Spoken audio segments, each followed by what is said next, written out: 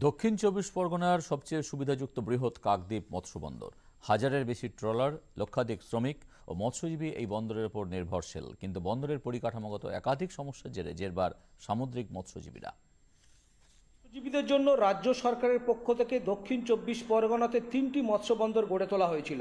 এর মধ্যে সমস্ত সুবিধাযুক্ত বড় মৎস্যবন্দরটি হলো কাকদ্বীপ মৎস্যবন্দর। কাকদ্বীপের পূর্ব গঙ্গাধরপুরে কালনাগেলি খালের পাশেই এই বন্দর গড়ে ওঠে বাম আমলে। এই খালের সঙ্গে সংযোগকারী মুড়িগঙ্গা নদী। লাগোয়া খাল ও নদীতে নিয়মিত ড্রেজিং না হওয়ার ফলে বর্তমানে ভরা জোয়ার ছাড়া ট্রলার ঢুকতে পারে না বন্দরে। প্রতিনিয়ত ট্রলার ঢুকতে বেরোতে বেশ অসুবিধার মুখে পড়তে হয়। এর মধ্যে বর্তমান সরকারের আমলেও নতুন কিছু পরিষেবা চালু করা হয়। দু হাজার ষোলো সালে তৎকালীন মৎস্যমন্ত্রী চন্দ্রনাথ সিংহ একটি হিমঘর ও ড্রাই ডকের উদ্বোধন করেন।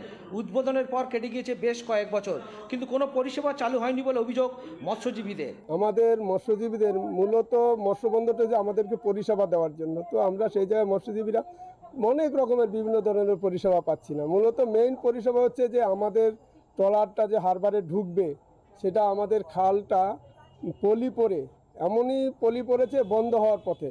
খালের মোহনায় এমনই পলি পরে পরে বন্ধ হয়ে যায় যে যার জন্য আমাদের খালে স্রোত না থাকার জন্য আমাদের খালটা পলি পড়ে গেছে। তো সেটা যদি ড্রাই করে দেয় কাটা হয়ে যায় তাহলে আবার আমাদের ট্রলার ঢুকতে বেরোতে পারবে। তাহলে এখন আমাদের ইলিশের সিজন এখন যে কোনো মুহূর্তে আমাদের ট্রলার ঢুকতে হবে, বেরোতে হবে। তো খালে জল না থাকার জন্য আমাদের ট্রলার ঢুকতেও পারছে না, বেরোতে পারছে না। এটা আমাদের মেন এক নম্বর সমস্যা। হিমঘর গড়ে নেওয়াটাই দামি মাছ সংরক্ষণ করা যায় না। অনেক সময় মাছে পচন ধরে।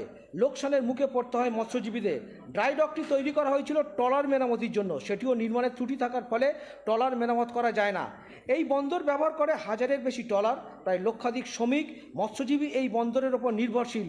গুরুত্বপূর্ণ কাকদ্বীপ বন্দরের সমস্যাগুলি দ্রুত সমাধানের দাবি তুলেছেন মৎস্যজীবী ইউনিয়নের নেতৃত্ব। মূলত দক্ষিণ চব্বিশ পরগনায় তিনখানা হারবার রয়েছে। তার মধ্যে সুলতানপুর, ফেজারগঞ্জ আর কাকদ্বীপ। কাকদ্বীপটাই একটা স্বয়ং সম্পূর্ণ করে তৈরি করা হয়েছিল, যেখানে ডাইডক এবং কোল্ড স্টোরেজ সমস্ত কিছুই আছে। কিন্তু এই এই বন্দরটা নাব্যতার কারণে দীর্ঘদিন ধরে এখানে ড্রেজিং করা হয়নি।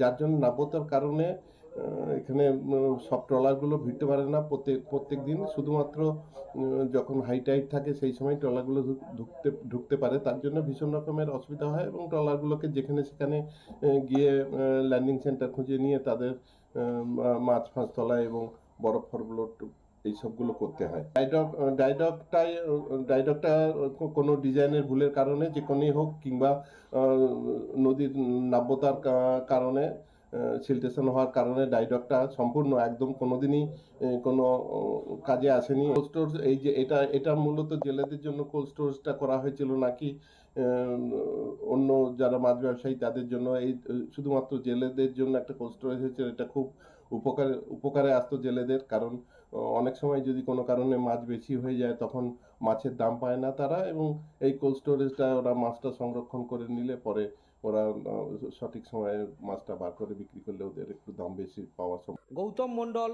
দূরদর্শন সংবাদ, দক্ষিণ চব্বিশ পরগনা।